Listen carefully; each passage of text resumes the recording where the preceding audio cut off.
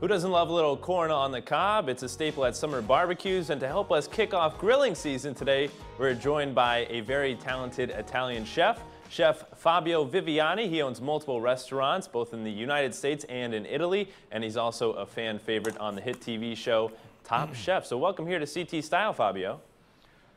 Ryan, how are you? I'm doing pretty darn good, except uh, I, am a little jealous. You're, you're, you're in a nice kitchen right now, and, and you have some good looking corn on the cob over there.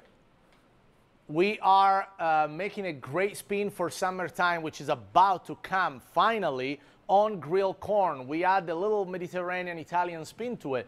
Uh, the first things we're gonna do, um, people love grilling corn, but the issue I'm finding is that there is a lot of smoke, there is a lot of burning corn. So what we're gonna do, we're gonna use Bertolli Classico olive oil in replacement for butter.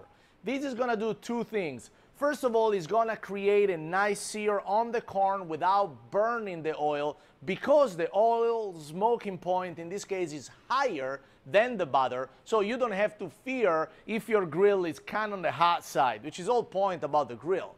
The other scenario is where, although um, many people do use butter for grilling corn, butter can masquerade because very sweet and very coating the flavor of fresh corn. In this case, this oil doesn't have a ton of olive flavor, will, will enhance the food by keeping it very natural and, and the way it's supposed to taste.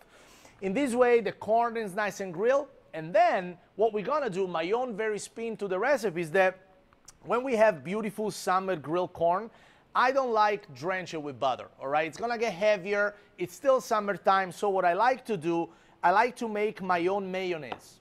Very simple. All you need is a food processor, okay? Food processor, you're gonna have some egg yolk, some mustard, lemon or vinegar, whatever which you prefer, some salt, and in this case I'm using some extra virgin olive oil.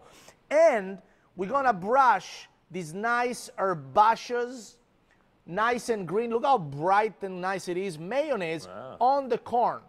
This is lighter than butter and it has more flavor more flesh flavor, fresh for summer, right? So here's what we're gonna do now. I'm gonna add some hard grating Italian cheeses, such as Grana Padano, for example. If you don't have that, you can add whatever hard grating cheese you can get.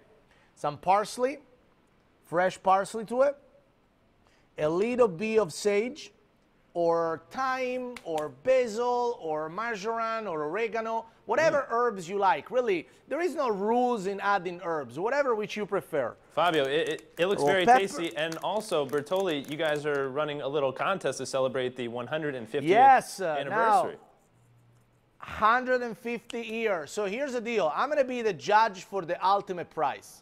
If you go to bertollioliveoil.tumblr.com and you submit a recipe featuring Bertolli olive oil, I will be judging your dish and you might win the ultimate lifetime trip to my land in Italy.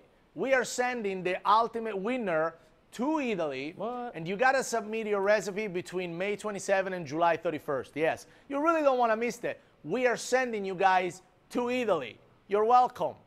Well, thank you, Fabio. We greatly appreciate it. And if you could do me a favor, uh, FedEx me some corn on the cob.